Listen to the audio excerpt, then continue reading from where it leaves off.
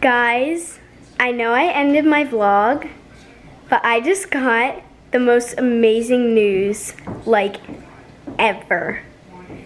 So I told you guys in a recent vlog that my friend Morgan Hurd was competing at the World. And the World is the Olympics, like it's the actual Olympic meet. But since it's not an Olympic year, they call it the Worlds, like the World Championships. She just won. She got first place. Like,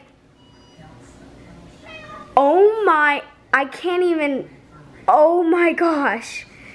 Like, I was just scrolling through Instagram and I saw a few posts that were like, congratulations, Morgan, I can't believe you got first. I was like,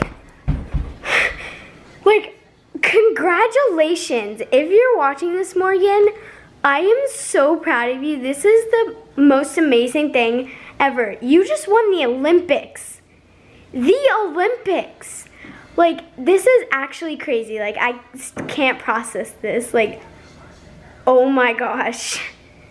I'm sorry if I'm blabbering, but guys, I really don't care because I'm so proud of her. She's literally, in the four weeks I've been at First State, I can tell how hard she works her butt off to get here. And it all just paid off because she just won the, the Olympics.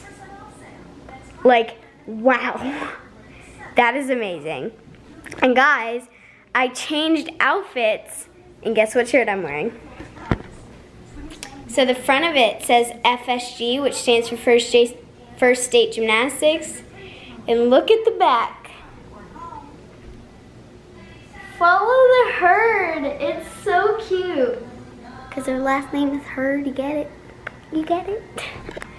So again, congratulations, Morgan. This is like out of, is, oh my gosh. Like, I am literally so proud. And I cannot wait to see you so that I can congratulate you. But yeah, so hopefully I see you guys tomorrow. Bye.